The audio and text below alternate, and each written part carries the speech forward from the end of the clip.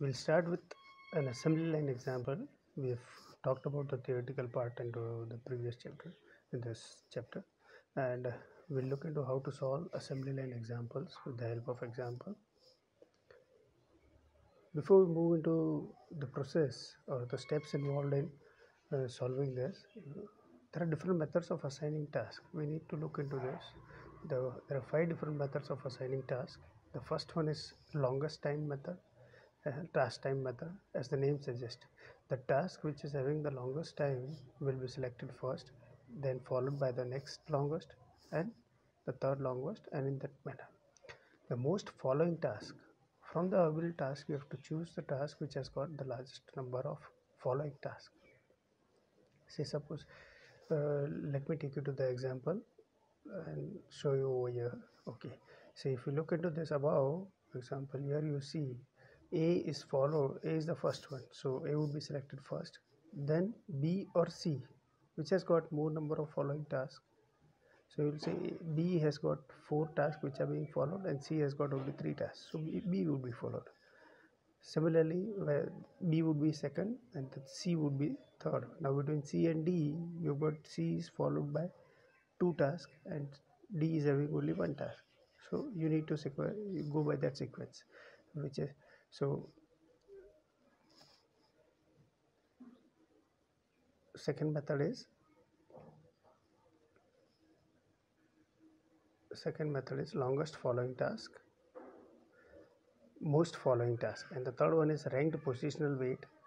Similarly ranked positional weight is from the available task choose the task for which the sum of the following task is the longest. So again let me take you to that example and here you can see ranked positional weight. I've marked this. Uh, 10 is the timing which is for that particular task. 12 is the timing for b particular task. Similarly 8 is the timing for c particular task. 6 is the time.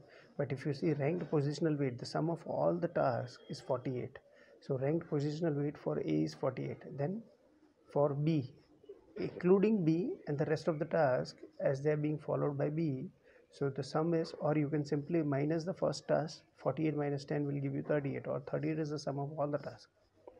So b would be second task then c is followed by this next three tasks. So if you minus 12 from this 38 you get 26 or you sum up 8 plus 6 6 6 6 then also you get 26 similarly so ranked positional weight you have to select the task and the weight of that particular task then the next is shortest task time. As first method was longest task time here you are going to select the shortest task time. The task which has got the shortest time will be selected first. And least number of following tasks. As you've seen most follow number of most following tasks this is opposite to that which has got least number of following tasks will be selected first. So there are five different methods you can select which has been mentioned in the question or you can select by default if there is no method given over there the longest task time is the method which is being selected by itself. Okay now coming to the steps which are involved in line balancing. The first is specify the sequential relationship among the task. So from the given question you need to specify the relationship and that is that would be given in the task. Then from that you need to draw the network and then determine the required cycle time. So what is the formula for cycle time is production time per day total production time which is there for per day divided by the required output per day you will get the cycle time. And then you need to find out the theoretical number of workstations. So how many workstations can be formed theoretically? If you see look into the formula is sum of the total task divided by the cycle time. That will give you theoretical number of workstation.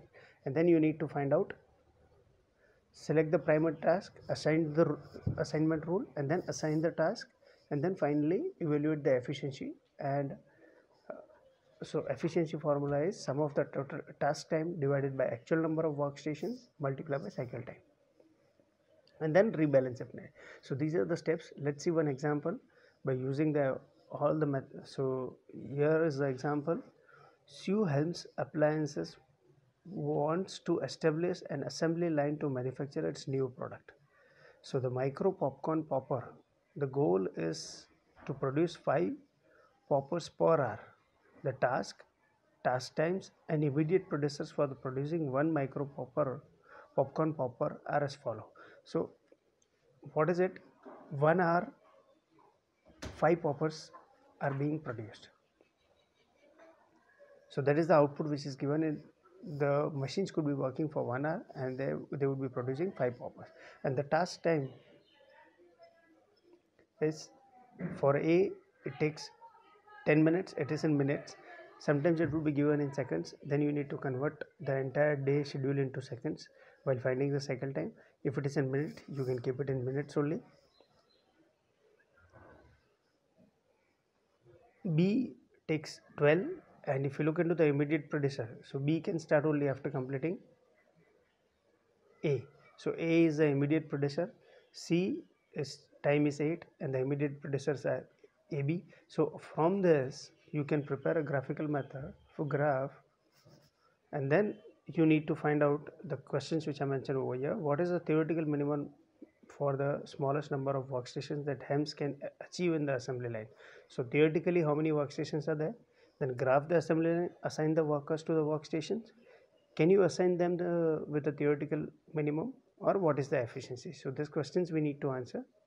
So let's see. First on the basis of the data which is being provided i have prepared a graphical method. So time which is there and the predecessors which are given.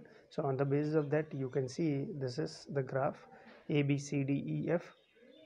And if you go by ranked positional method as i have said the first position would be ranked as 48 second position would be ranked as 38 and then while selecting the task here it is not mentioned so i have taken the longest task time as the default method. So first i will find out the cycle time. So what is cycle time is? Production time per day divided by total production time is given 1 hour. That is 60 minutes. Divided by the output per day is 5 units they are producing so cycle time is 12 minutes. Now you need to find out theoretical workstations. For the finding theoretical workstation you need to find out cycle time. That's why i found out first cycle time. And the total time taken by all the task is 48 minutes. Divided by the cycle time gives you four workstations per. So four theoretical number of workstations are four. Now on the basis of that i'll assign the task. So first workstation i'll assign the task as a. The time required for a is 10 minutes and the cycle time is 12 so remaining time is 2 minutes. The next task which can be assigned is b.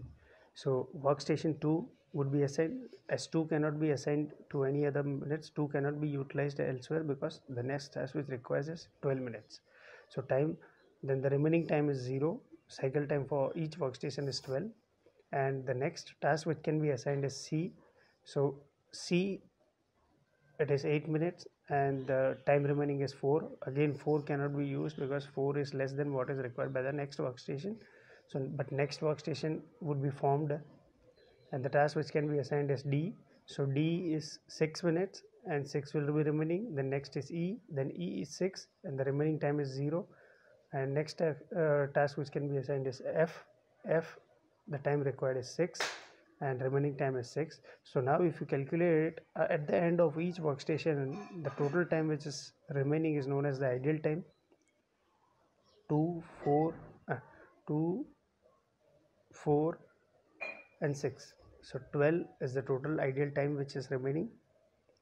And to find the efficiency sum of the task that is the total sum of the task is 48 divided by actual number of workstation. Actually theoretical there are four workstations but actually it has been formed that there are five workstations multiply by the cycle time. So you get 80% efficiency of this particular method. By assigning in this way you get the efficiency is 80% 80% of the time is being utilized and the same can be solved with the help of QM for Windows. Now I'll show you, I'll prepare another video where you can see how it can be solved with the help of and there easily you can switch from one method, one method of assigning the task to another method of assigning task and you get, you can compare the results with different methods also. But here when you wanted to do it manually, you need to again create and as this example was easy, it becomes easy to solve it. But when there are more number of workstations more number of tasks to be allotted it becomes a bit complicated and then you need to use softwares. Thank you